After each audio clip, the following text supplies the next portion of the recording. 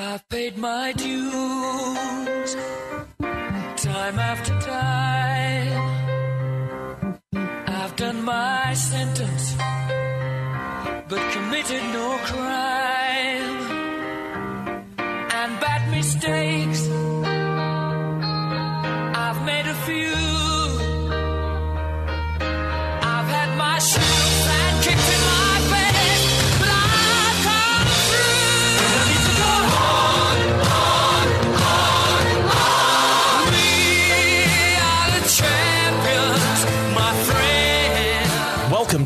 Half Empty, Half Full radio show on the Tan Talk Radio Network with your host, Laurie Zoock, the consumer champion. So listen up every Thursday night from 11 p.m. to midnight and learn something new. All opinions are that of the hosts and guests. Have a story idea? Contact us through Facebook on Half Empty, Half Full. We want to hear from you. And now, here's your host, the consumer champion, Laurie Zoock. Welcome to the Half Empty, Half Full Talk radio show on 1340 AM Tan Talk. I'm your host, Laurie Zoock, and each week we discuss problems and solutions, changing negatives to positives, and helping you, the consumer, to get smart faster. Today we're going to be discussing identity theft and data breaches. Now, identity theft happens to a lot of people. It can cost a lot of money to try to fix it and a lot of time. Uh, and I want to introduce, I have a special guest today. His name is John Sileo of the Sileo Group. Uh, and he actually has a website called thinklikeaspy.com. And I love that name, John. Welcome to the show. Thank you so much for having me, Laurie. You're, you're very welcome. I would, I read your website. Why don't you share with us a bit about your background, maybe what happened to you and how you turned it around from a negative to a positive and speaking out? You bet. Yeah, I'm a, uh, a, a case of two two types of identity theft. One was kind of a garden variety. A woman stole my uh, my numbers, my social security number, out of my trash that I put out on the curb. Um, it was actually done by a group called the Cashmen, who come around in a trash truck right when you move into a new home. They know you're probably throwing out copies of, of mortgage documents, which I probably had done, not knowing anything about this 10 years ago. And uh, she used it to buy a home in my name in a different state and then declared bankruptcy in my name. And uh, it was a you know a couple of weeks of really uh, distasteful recovery, and uh, took a, a bunch of money, a bunch of time, and it, it to this day, ten years later, it still causes me troubles. So that was kind of my introduction, and then I had a really bad case where my business partner utilized my identity. Uh, my, he was also happened to be my best friend to uh, embezzle from our clients uh, my identity in, in the form of my uh, username and, and password for banking logins. He used that to uh, to embezzle funds. So I faced a, a two-year criminal trial. That uh, you know they thought that I had committed all these crimes. He was doing it to fund some pretty sick habits we didn't know about, and I lost my business, uh, a several million dollar software business, about three hundred thousand dollars in actual cash, which we paid back because he never paid a dime and uh, it turned me into a, a totally different person. I, I had to figure out a new career, and I I started writing on it. I wrote my first book, uh, Stolen Lives, and then uh, several subsequent books published by Wiley, and now just speak around the world, uh, helping individuals keep from from having this problem, and helping businesses, small businesses and large, from having a data breach like Target or the loss of identity. I kind of focus all my my attention around the identity side of it. Right, and you're you're a perfect example of someone who took a negative and and turned it around completely into a positive by helping people with what had actually happened to you in, in that respect. Now, let me just ask you, whatever happened to the former best friend slash business partner? Did, did, did that had to be a shocker alone? But did did he go to prison? Oh, it was it was such a betrayal to have that happen and have it be a friend. Um, he, in the end, uh, admitted guilt, went to prison for get this, 18 days, uh, because that's how I don't know. That's how white collar crime is prosecuted. He happened to be independently wealthy. He wasn't ever doing it for the money. He did it because he was sick and he needed to cover up some uh, some really bad habits that he had. He needed a different source of funds. And so he went to jail, served 18 days, came back out. Of course, as a business partner, it's kind of like a marriage. You don't just immediately, uh, you know, cease all conversations with that person. You have to unwind it. We had to unwind what he did with forensic accountants and the district attorney's office. So I spent a year, more than a year, uh, with him afterwards, having to to unwind everything that he had done. It was it was like sleeping with the enemy, Laurie. Yeah, I'm so sorry that you had to go through that. And and I'm actually a, a consumer credit consultant, and and, and sadly, a lot of times when I when I speak with people, um, and it looks like they have identity theft on their credit report, which it is, a lot of times, Sean, it's it's a family member or a friend, and uh, they're so embarrassed to tell me, you know, and they don't want to turn them into the police because it's someone that they know. You know, I had someone recently who told me her, her mother stole her identity. And that it's bad enough if it's a stranger, but imagine like in your case or in the case of people I know where it, it's someone that they know. Laurie, I got to tell you, you know, traveling around the, the country and the world talking about this stuff, I hear more stories of it being somebody close, and maybe that's because it's more traumatic, and those are the stories that come out. But I would say one in every two stories that I hear it's somebody that was close to the person and i'm not just talking personal identity theft. I'm even speaking about you know when when corporations are breached when the target type of things happen. Um, somebody in the know is part of it and it just makes it that much harder because it's then it's such an emotional story. It's not just financial Right, right. And and I know plenty of stories similar to yours and and they break my heart that people would actually do this. I mean, I it, in my case uh, actually 4 years ago today, it's the anniversary. Uh, my purse was stolen. Now, because of it's it's funny when I help other people, John, it's really easy because I have to keep them calm and explain what they have to do, um, and I'm great at that. But when it happens to you and it's now personal, I kind of went into panic mode. You know, I I knew who all my credit card companies were. You know, trying to get a hold of them at night is difficult. I had the police there. Um, I'd never got the purse back, but it, it you know, doing what I do, I I kind of knew what to do, but the panic kind of set in there.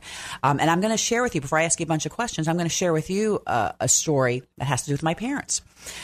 They had um, they had a business account, a mutual fund account uh, in New York City, and the company that they originally had this account with, the representative or the owner of the company apparently would have to send a backup CD by by mail by USPS to a third party company and when the disc arrived, it actually didn't arrive. The envelope arrived without the disc. And my parents called me and said, Oh my gosh, you know, what do we do? I said, Okay, you got to cancel all the credit cards, get new ones. But now you're also going to have to cancel all your bank accounts and anything that is associated business wise with your social security number. But what, you know, really got me was I said, Were you the only ones on this disc? So they called the rep and he said, No, there were 400 people total on that disc whose personal information, their entire lives or on that disk rather than send it through some encrypted means through the cloud. And, you know, for, for people who fall, just like I did into that situation, it, it kind of puts you into a tailspin. You know, that, that panic, I mean, you're going to have, you're going to identify with this, um, having been there, which is now everybody calls you because you know about this and you, you counsel and hearing those family members and those friends go through that and that sense of panic um, is is almost overwhelming. That's probably the hardest part of my job. It's wonderful to go do a keynote. It's very difficult to hear people's stories of being, you know, being defrauded. And I finally, and I'd love to have you look at it. I wrote a, uh, a identity theft recovery guide and a, a blog post on um, on lost wallets and purses, just because I get so many calls every week. I, I could no longer handle kind of the counseling that goes along with it, and imagine what that is multiplied by 400 or by target by you know right. 70 million. Well, because you you became you become a therapist to some extent to try to help people with such a serious violation, and one of the reasons I wanted to, to do the show was because people don't really you know I, I it's funny years ago I did a TV segment um, on one of the TV stations down here on how accessible is your Facebook. And I actually had a, had a friend volunteer to to be the other party, uh, since I had come on as the expert. And the fr- the friend had um, his social I'm sorry his his date of birth, his complete date of birth on Facebook. And to this day, I will tell you, I still post on Facebook. Please do not put your entire date of birth. Even if you lock the account down to private, which most of most people don't even do that they don't realize how accessible their personal information is. They don't, and you know, I mean, you know as well as I do that with a a full birth date, your name and your hometown where you were born, which are all standard, you know, items on on Facebook, you can generate somebody's social security number because it was it was not a random process. There's a Right. a formula developed by Carnegie Mellon University that's that's widely available that lets you know what somebody's social is, and that that's where it gets really dangerous. I, I, I think it's scary. Well, I, I want you know, give me a couple of stories. We got a couple of minutes before we go to the first break. Can you can you share with us a couple of other stories that you don't have to use people's names, but give me some examples of identity theft that you've heard. Oh gosh, a lot of what we're hearing now are, uh, of course, social media, which we've touched on really quickly because we put so much out there. So it's they tend to be more targeted cases. Um, for example, uh, people who are, and we see this a lot, bridging the personal world and the work world. People's Facebook profiles being used to get in deeper at a company and defraud the company. So now that I know your your name and where you vacation and where your kids go to school and who your friends are, when I call you to, to socially engineer or manipulate you, I can get all kinds of information uh, very easily. So we see that happening a lot. Another one that's very common is with with mobile technology. So I walk into the Starbucks, somebody leaves their phone there on the on the table. It's got no passcode on it, right? Sixty Right. percent of American smartphones have no passcode, and yet it's a mobile computer. So what do I do? I type in the word bank in the search field. I see exactly anytime you've visited a bank, if it's in your contacts, if it's in your browser, I know where you bank. I visit that bank on your phone and I say, hey, I need a password reset email. I lost my password. I open up your email on the phone. Now, of course, this isn't me doing it; the thief doing it. Right. Open up a pass uh, the uh, the email, get the password, reset it, and now I am banking as you, calling as you, emailing as you, right there on that single device, simply because you haven't put a simple four-digit passcode that lets you wipe that thing out. That's very common now. Well, I'm hoping our listeners are actually listening to this because you're giving good advice. I- I- People make their information so accessible without even thinking about it. And even if you think about it, you still have to outsmart all of the criminal people that, that know more than you are, you know more than you do. Well, I, John, stay with us. We're going to go to a quick commercial break and we'll be back in just a second. There's a man who leads a life of danger. Everyone he meets, he stays a stranger.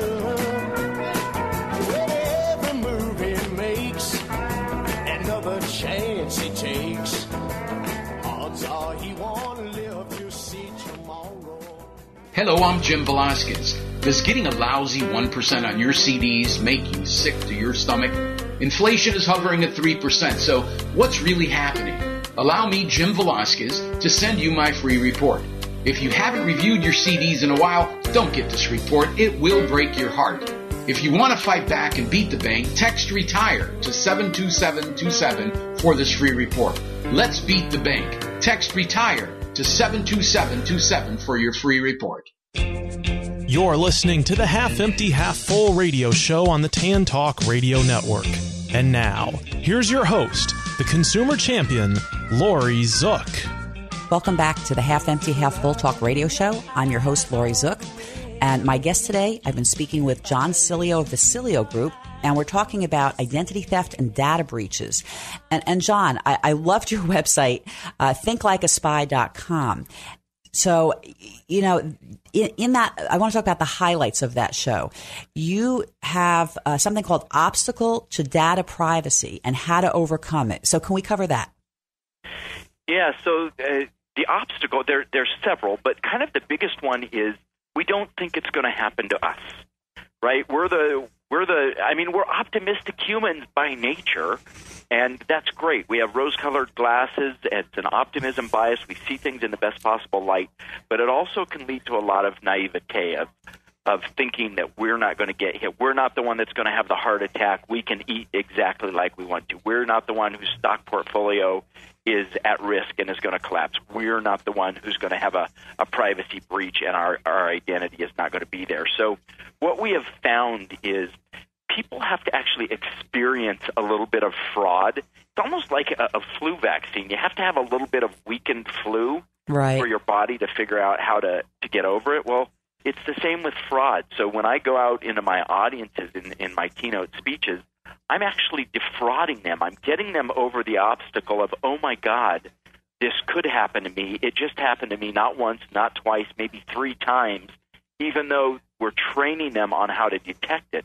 And when you have felt it, when you have felt what it's like to have lost your purse or wallet and and then have been defrauded, even when it's you know legitimate, when it's me out there not doing it for for negative purposes, your whole mindset changes, your actual brain chemistry changes, and you start to detect this stuff really quickly. And that's great for the individual, it's great for the family, and it's great, of course, for the corporation. All right. Now, your next uh, portion of that Think Like a Spy program was how to think, how to, I like this, how to think like a spy and apply espionage techniques to data protection. How do you think like a spy? If you're an optimistic, good person, you're probably not thinking like the bad criminal mind. So, what, what do you teach? How do you get people to see the other side? It's a simple three step process, and the, the steps are uh, react, research, and respond. So it's how you react. Once we build in a an automatic reaction anytime your information is in play. So a, a spy, an agent is trained anytime there is information being bought, sold, traded, stolen, dealt with, handled. Anytime information is in play, they have this automatic reflex, and we use a very uh, a funny word for it, which is hogwash meaning I, I'm skeptical here. I'm not certain of why you're asking for this information. I think you're full of baloney. I need to do some research. Step two is research. You ask three simple questions. The first and most important of which is, okay, who's controlling this interaction? So when when you get that email that says, "Hey, update your account information for your bank account," uh, click here to do it, or we'll cancel your account Right. your first reflex is hogwash, baloney. I don't think this is this is correct. I'm going to ask a couple questions. Who's in control of the interaction? And the importance there is we call it initiate or terminate. If you didn't initiate that email, if you didn't initiate the phone call that you get, got, terminate it. Take control of the situation. Call the bank directly. Visit the bank's URL directly, the financial provider, whoever it is, and don't assume the best. And that's, you know, for all of these digital transactions that we have. Right. I'm going to jump in here because it's funny. This morning, I got an email from PayPal. Now, I have a PayPal account. It looks like it's from PayPal and it says click here to go to your PayPal account and, and check the balance due. Well, I know that I have no balance due. So I deleted that email and then I went into my actual PayPal account myself, and, and sure enough, I had no balance due. But I, I and you maybe you can explain a little bit about what happens when you when you click on that. First off, PayPal, if if, if they're saying a balance due, that's even trickier, um, I think, than a bank saying you know that you owe a balance. But what happens when you click on that link? There's generally one of two things. Number one, you go to a website that collects your information. So you'll see forms that says, okay, we need to know just a little bit more about you. They collect it in small pieces. That's how you know social engineering works. I'm going to take a little here and a little bit there, and pretty soon I have a whole dossier on your your identity. Or you're clicking to a site that installs malware, so that they are recording your keystrokes. They're recording what you send back and forth over email, your account information. Those are the kind of the two things that you're doing when you click on those links. And there's a, a really good solution. Number one is you'll never click on a link financially. You should never do that. Your bank will always say visit directly, type in the URL. And another is called the hover technique. When you hover over that link and if it says, you know, something different, you think you're going to target.com and you're going to something that says target.p3lp5.com. You need to know that what's just directly to the left of the .com or the .org, that's where you're actually going. And just because they've put Target in there or Chase Bank or whatever, that's not where you're where you're going. You're going to the the address directly to the left of the dot. Okay, good. Because I, I know that, and what kind of tipped me off when, because this is, I, I've seen these emails a number of times. Um, when you look at the URL and you can see, in this case, mine had some address at e.paypal.com. Right away, that e dot said to me, this is not paypal.com. But I think a lot of people don't know. L- look at the website address, right? Because Look that's that's a and, the cue. way, never click on those. Just never click on them. Go into PayPal directly, like you did, and look at your account. The alert will be in there. The information will be in there. When you're clicking on a link in an email, you better be 100% certain that it's a good link.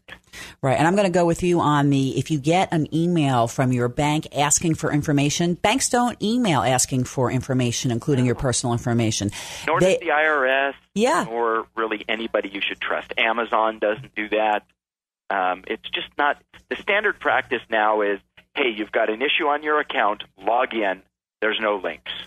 Right. I go with the phone call. You, you see something not right, make the phone call to the bank directly. Because I could tell you, even in the mail, I've seen things that look like they're official and they're scams. They've gotten so good. You know, we can't count on spelling mistakes and the the same things we used to count on to detect those because they're they're very good at replicating them. So you're right.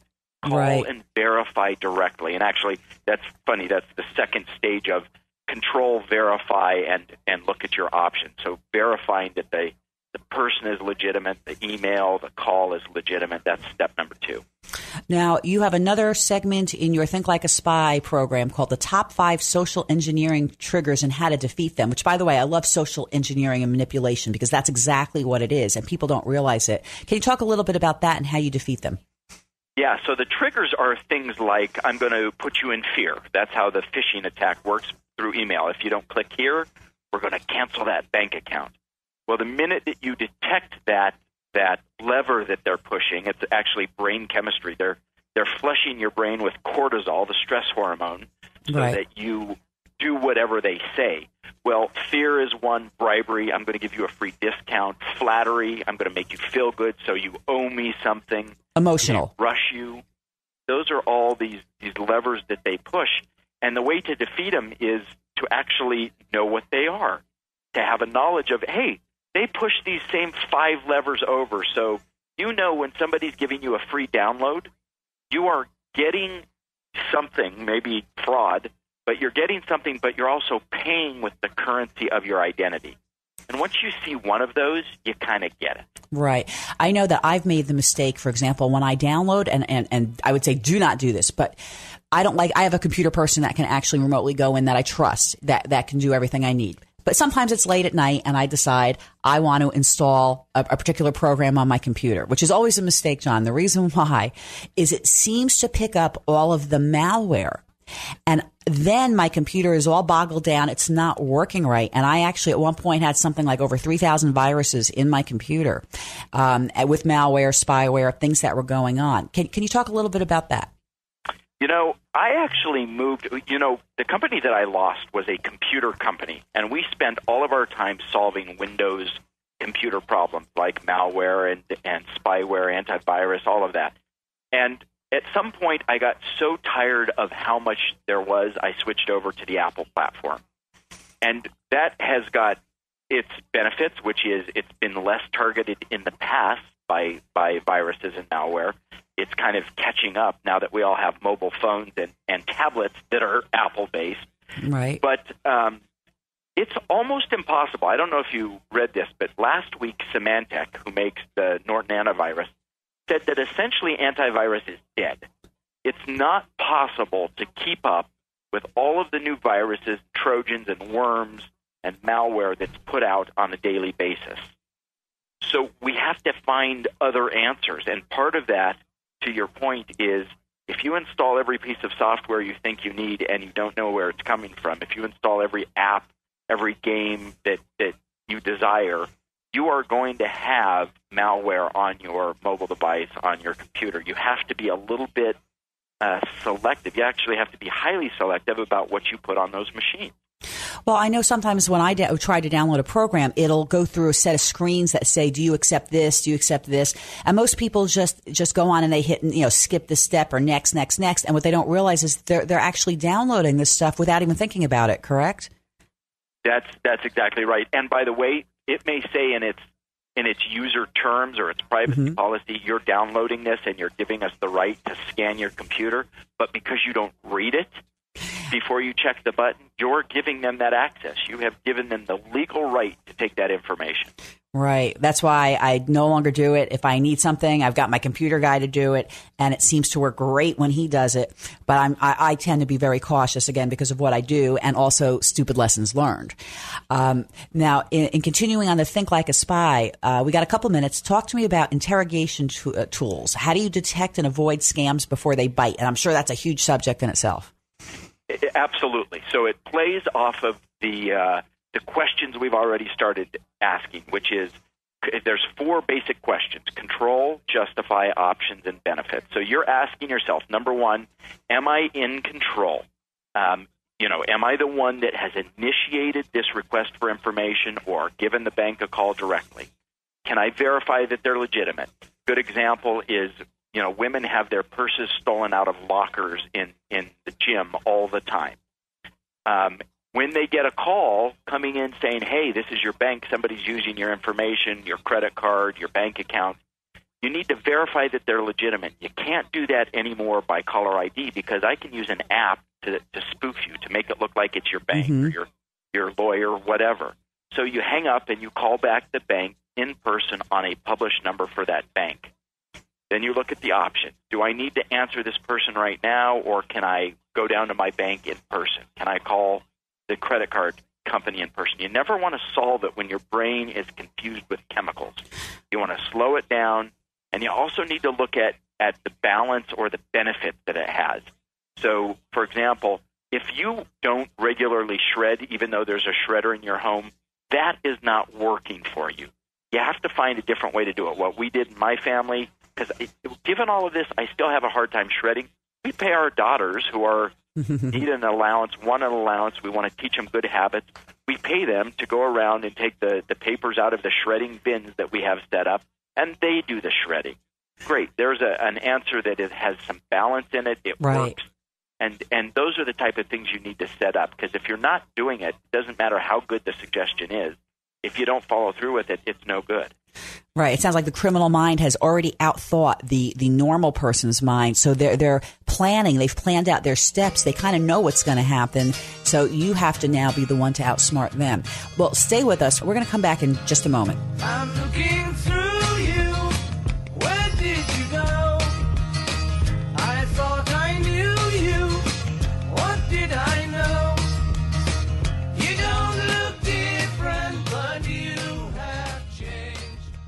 You suffer from back, neck, or body pain? Do you suffer from migraines or have jaw or face pain? Has conventional medicine failed you? Were you injured or in an accident? Call chiropractic physician Dr. Dan Maddock at 813-935-1664. Dr. Dan has helped thousands of patients gain relief for more than 30 years. Dr. Dan is caring, gentle, and takes his time with each patient. He's also a past president of the International Craniopathic Society, a special certification of only 300 chiropractors worldwide. Dr. Dan helps patients from the neck up and the neck down. Dr. Dan accepts most insurance plans. Don't continue to live in pain. Call 813 935 1664 today. That's 813 935 1664 and get on track to better health. You're listening to the Half Empty, Half Full radio show on the Tan Talk Radio Network. And now, here's your host, the consumer champion, Laurie Zoock. Welcome back to the Half Empty, Half Full Talk radio show. I'm Laurie Zoock, and I'm speaking today with John Sileo of the Sileo Group. And we've been talking about data breaches, identity theft. So this is a show you definitely want to listen to and learn something from. Uh, you don't, you want to prevent identity theft. Um, but if you have already been a victim, or you become a victim, you kind of get an idea of what you can do. And John, we were talking about your Think Like a Spy series. Uh, I want to actually go on to the next topic, which was risk scenario training that makes safe data handling a habit and not an afterthought. How do you do that? So um, this is all in-person type training. Okay. When I am uh, with a client, like yesterday, I was in South, lovely South Beach, Florida, with BlackBerry, the the phone company, and we were training their people on on actually detecting and feeling these these situations going on. So you take the very personal stuff, which is somebody stealing my purse, and now you you turn it into scenario training where I understand when when you know, there's a person at my front desk saying, "Hey, we're here to work on your computers. Your regular guy is out. Um, you know, I need to, I need your password and your username." So that people start to detect these scenarios, and it's very much an in-person, have to feel it in the moment type of thing, so that they no longer uh, they're no longer so susceptible. That the human element of this is so important, and people understanding that it's not just technology; it's the choices that we make every day, giving away this information. That's what risk scenario training is is all about. Right. You know, one one of the things when it comes to social security numbers, really, I think only doctors, you know, for, for insurance purposes, cross reference to your social security number and, and, banks when you, you know, a financial institution when you open an account. Um, other than that, I can tell you, I personally do not give out my social security number. I think it's dangerous. That is your, you know, tracking number for the government and, and for the banks and, and for the insurance. But you'd be surprised surprised how many people will give out their social security number to anybody that asks and their date of birth. It's amazing how often people give it out, how loose they are. We see hundreds of thousands of social security numbers a month on social media alone. Why anybody would ever put it up there, I have no idea, but they they just don't have the respect for that that you know identity as currency that they they need to have and of course because it connects to your credit, because it connects to your medical profiles, it's kind of the keys to the kingdom. Right. And, and I'm going to go off topic for a second because you're bringing me to another thought, which is, you know, there are companies like Lifelock uh, that claim to lock down your accounts. Uh, I believe the owner actually wasn't, I think he was victimized. Uh, yeah, like thir- 13 times, Todd. Yeah, he, right. Because he had a social security number on the commercials on TV. I'm thinking, oh my gosh, even if I had Lifelock, I wouldn't, you know, put it out there for the public because there's always somebody smarter than you to do that. Absolutely. The first lesson, and Todd eventually learned it, and LifeLock learned it, is you keep the stuff private in the first place, and you don't have as many as many problems. So discretion is really, really important. Right. Well, let's continue on a little bit. Your your next topic under Think Like a Spy was called Targeting the Enemy, an action plan to minimize risk with less work. How do you target the enemy? Okay, so in um, in one of my other books, which is called Privacy Means Profit, um, I go through kind of a prioritization process. It's actually in the form of a calendar of what you do. Here's what happens: people get overwhelmed with the amount of work that this takes. I mean, now we're trying to protect computers and servers, and we're trying to protect uh, gadgets and social media profiles and purse and physical things. It's overwhelming. So you have to take it in small bites.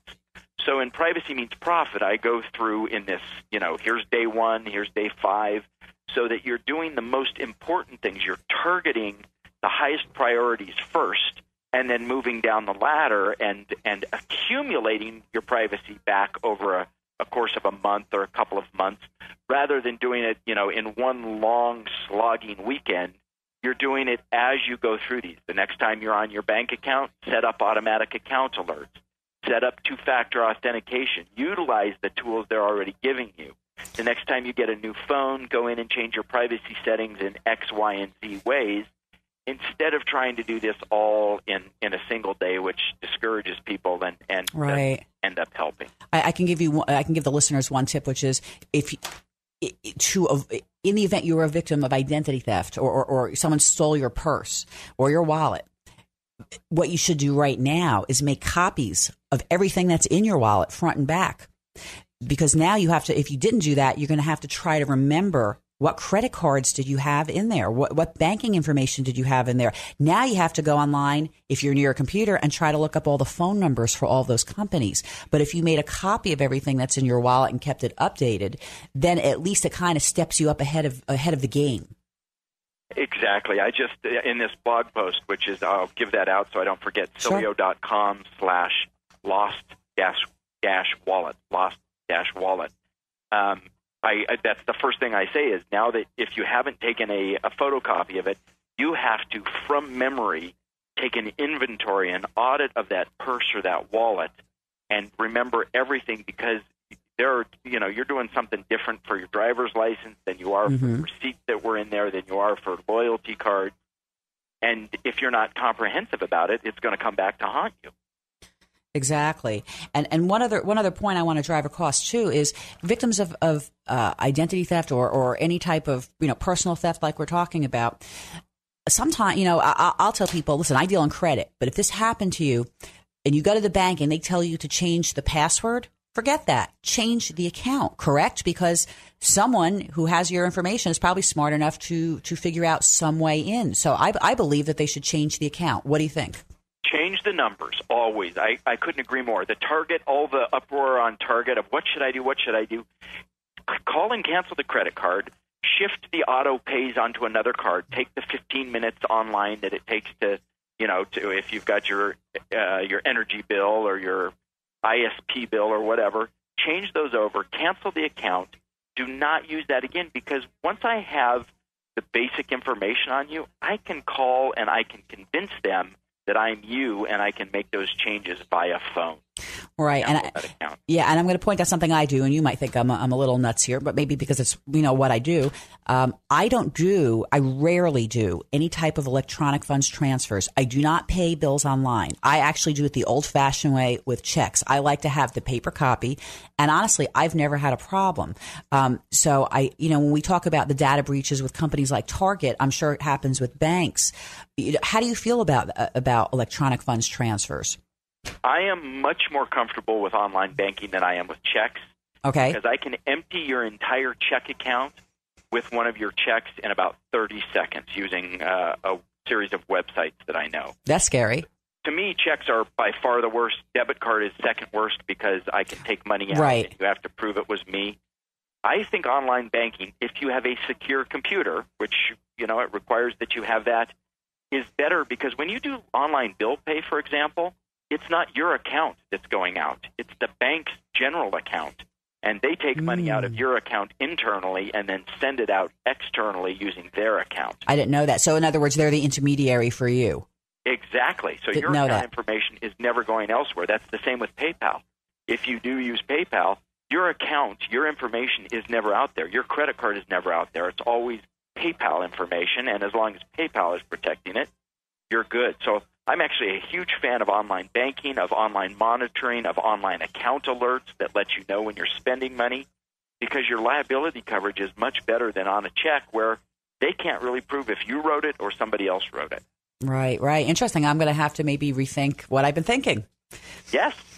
All right. Well, I want to talk about uh, the last topic under Think Like a Spy was practical skills that bridge personal prevention and professional privacy.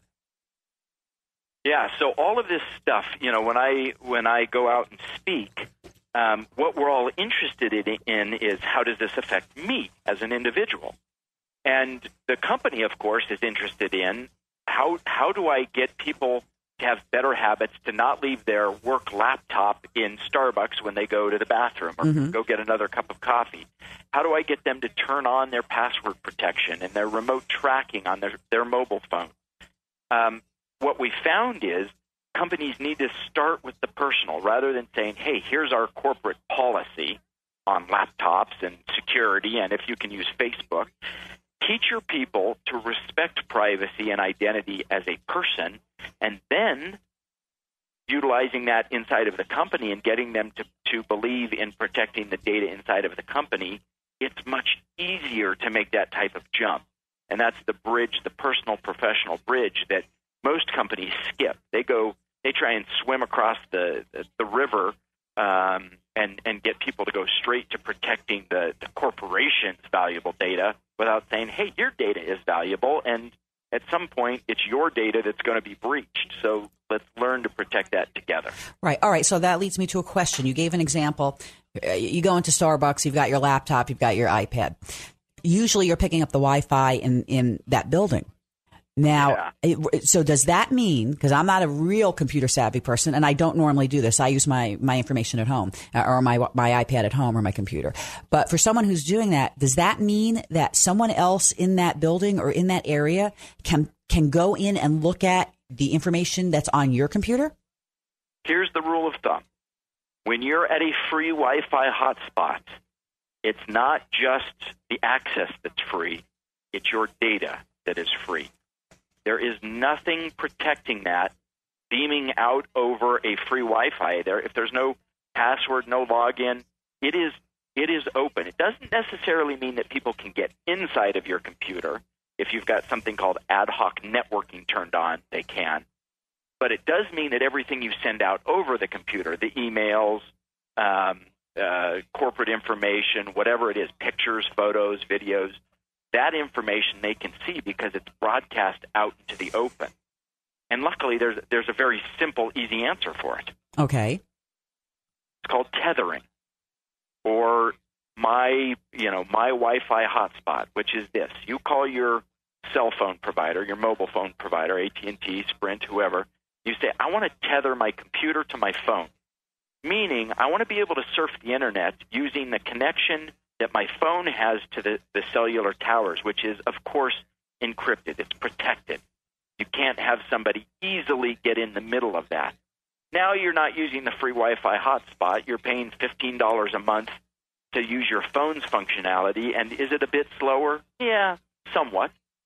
Massively slower? No. Is it safer? Oh my God, yes. And that's Because worth you don't right. That's worth the difference in price, right? The fifteen dollars to keep your information secure, rather than go through six hundred hours trying to fix your your problems afterwards. Exactly, and and thousands of dollars. So you're paying $150 a year for the right to be secure in your transmission. Absolutely, totally worth it. Well, I want you to stay with us, John, and our listeners to stay with us. We're going to go to a quick commercial break, and we'll be back in just a second. Like I've got a name. I've got a name. Hello, I'm Jim Velasquez. Does getting a lousy 1% on your CDs make you sick to your stomach? Inflation is hovering at 3%, so what's really happening? Allow me, Jim Velasquez, to send you my free report. If you haven't reviewed your CDs in a while, don't get this report. It will break your heart. If you want to fight back and beat the bank, text RETIRE to 72727 for this free report. Let's beat the bank. Text RETIRE to 72727 for your free report.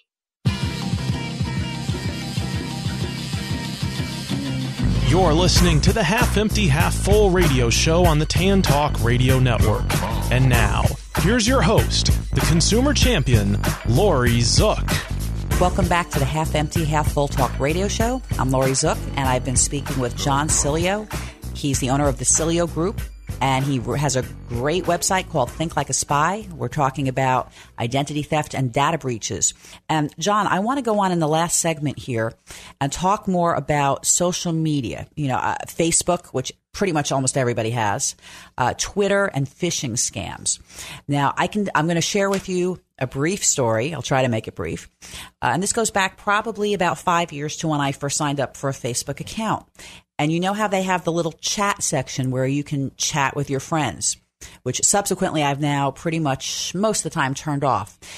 I got uh, a message that appeared to be uh, from a friend of mine in California, a longtime friend, stating that he was stuck in in England and he had been robbed and beaten. And by the way, this person did travel internationally quite a bit. And it seemed from these messages on Facebook that it actually was my friend. And so I started asking a lot of questions because I wanted to kind of verify his identity, but he was looking for me to, I can't remember if it was wire money or, or pay a hotel bill, something like that. He couldn't get out. Um, he couldn't get out onto the airlines. He had no ID. I actually went so far as to get a phone number from this person and I called. And when I called, the person at the other end told me he wasn't available. And right away, you know, my red flags are up the whole time, but this was a really long time friend and I wanted to make sure. Uh, ultimately, what I did was on my, I had two phones and on the other phone, I texted my friend in California and he responded back. I said, you need to, texted him back, you need to look right now on your Facebook fa- uh, page to see what's going on on chat. So apparently that's what's called phishing. Yeah, so that's truly the the real term is account takeover. Okay. So they've used that somebody else's Facebook account. They've taken it over because we have so much trust when we see, you know, that person's image next to their post. We're like, well, of course it's them. What's happened is they've clicked on a phishing attack that, uh, you know, turned over their account to a criminal. The criminal then solicits Um, it's it's a friend's in distress. So my friend is in distress. I'm using the fear hormone. I'm using cortisol. I'm putting you in stress. My friend is in distress, and I have to act immediately. So, Right. uh, let's let's take what we've already learned from an earlier segment. Okay, am I in control of this of this interaction? Well, no. Whoever the the person is at the other end, whether it's a friend or an enemy, is in control. I don't know who it is. Can I verify that they're legitimate? Yeah, I can text them on their phone, which probably hasn't been taken over by a hacker unless they've actually been mugged. I can call them in person and I'll know their voice. I can call them at home. I could, uh, you know, get in touch with them in some independent way from that Facebook post. And then I can look at what my options are. Do I actually send money? Do I um, do I call their family members and see if they know anything? You look through the options, and as you do that, you very quickly realize, hang on, this is a scam. Their account has been taken over. Uh, I do not need to, to act. I do need to get in touch with them to see if it's been legitimate or not. And they need to go and, and uh, go through the channels at Facebook to retake over their account because, of course, all of their friends are being emailed with the exact same thing. And that's exactly what happened, John. Was it turned out that this person uh, had emailed all of the friends, and I'm one of the longest term friends. But what what really struck me was the e- the way the emails were worded. It was made to appear as, it was so good. I was sure it was my friend, but then I did that step back and went, hmm. You know, you're asking me for money, so I remember saying, "Tell me when the where and when was the last time that I saw you." And then the the bad guy sent me back something that was made to make me feel guilty. And that started the trigger for me that something's wrong. Now, interestingly, uh, well, his case was his um, Facebook page was shut down for a while until they were able to resolve the issues, which, which was good. But it, it, to me, I went, wow, I, I really thought it was this person. Yeah, they're very good at, at pulling those levers. And but your basic reaction, which was hogwash, eh, hang on, I think you're full of baloney. Right. Let me ask a few questions. Uh, can I verify that you are who you say you are? Right there, that allowed your brain the, the resting time to say something is not right about this. And obviously, you didn't send money, but I guarantee you other people did. Right. And, and, and also, I was lucky. I actually called the phone company because I have no idea what country I called.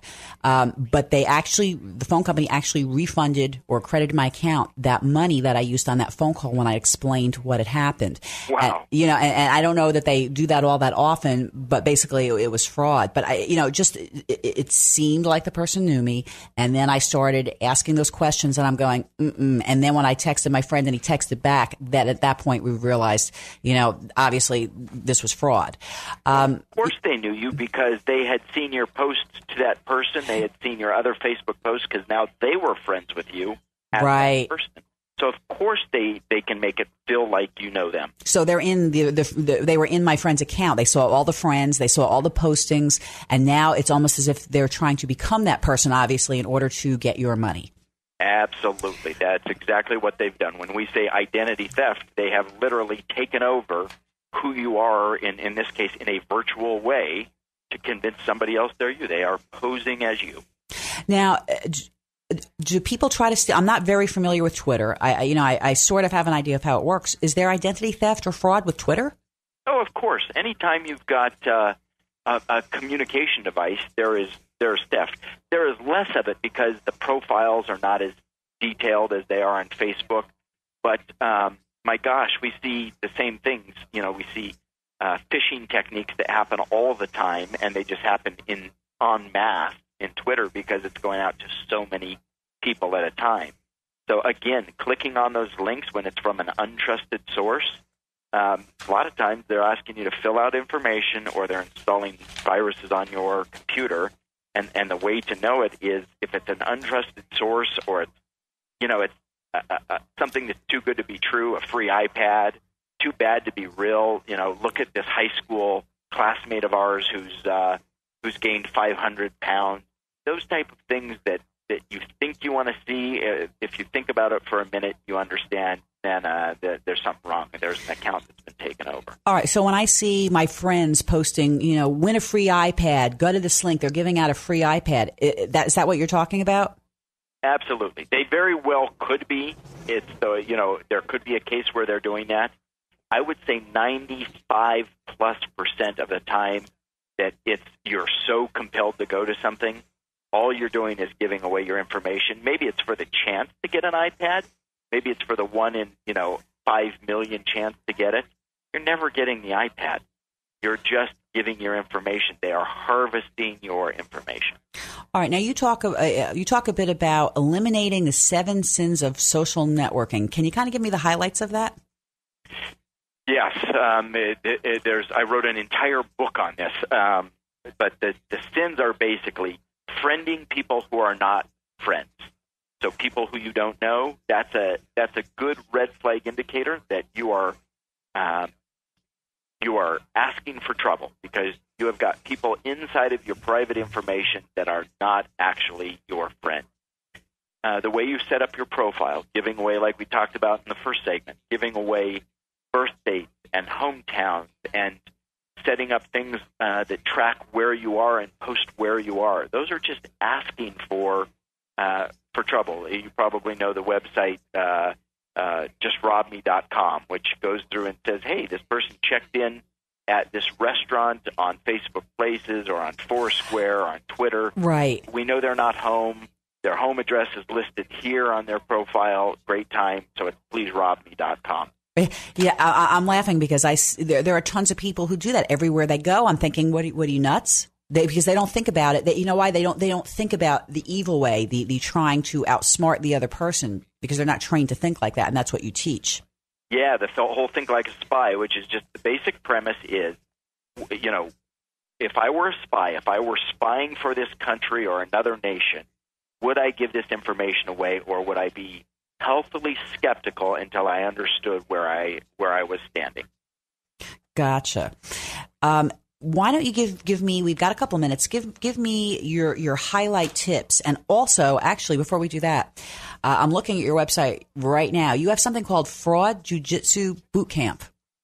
Yeah. So one of the presentations that I do um, when I when I go out and do these presentations for associations, for I do a lot a uh, lot of conferences uh, that I will keynote. Um, one is uh, just training on the basics of fraud detection. So it doesn't matter if it's Bernie Madoff trying to defraud you, an identity thief, a phone call scammer, a elder scammer, a whatever. They're the same basic skills that let you detect it. So, um, and you've mentioned a lot of the the one website, Think Like a Spy, which is kind of around the identity theft I've got another complete uh, website, which is just my name, Sileo.com um, slash blog. If you want to get to the, some of the information, it talks about online privacy. It talks about business fraud, kind of the, the broader scope of things. And uh, you know, those are those are some great resources, as well as uh, the books that I've written, the Identity Theft Recovery Guide, which is idrecoveryguide.com, um, and privacymeansprofit.com. Right, you've been. A, I read you've been a, a keynote speaker at a lot, a lot of large companies, which I think is great. And you have uh, mention your books again. You bet. So, privacy means profit is kind of the uh, the comprehensive learn everything you can about protecting identity from a personal perspective, and then from a also from a business perspective. Uh, the latest book, which just came out uh, about a week and a half ago, it's actually not a book. It's a it's a system for recovering from identity theft. So if you've ever been a victim, if you've known a victim, you can start off at uh, at a blog blog post, which is just sileo.com slash recover, just uh, the word recover, um, and that takes you through kind of the first steps. And then if you you know if you want a more comprehensive view, the identity theft recovery guide actually has videos that take you through kind of the emotional part of it it's got forms that you download to help you dispute credit problems. It's got exactly what you need to do with law enforcement. So it's it's really an entire system on how to recover and, and save all of the money that you stand to lose and all of the time, which is the worst part, that you stand right. to lose by reinventing that wheel. Well, we have to actually finish up the show. I want to thank you very much for being on and, and, and helping out all of the consumers that are that are listening today. Uh, do you have a phone number that people can reach you at? Absolutely. They can reach uh, reach us directly at 303 777 3222. and I've got a, a staff of, of three that help out with things they may not get directly to me. I spend a majority of my time uh, on the road delivering keynote presentations and doing trainings for for companies and organizations. But uh, um, they're absolutely welcome to call if there's something that, that we can help out with. And probably the very best resource is, is to visit Sileo.com and and a majority of what we provide is is available there. Well, thank you again. I'm going to put your information up on the podcast, and I want to thank our listeners. Get smarter faster by going to the tantalk1340.com podcast page and clicking on the half empty, half full radio show page. Join us every Thursday night at 11 p.m for a new radio show on the 1340 Tan Talk Network. Learn something new every week and be safe.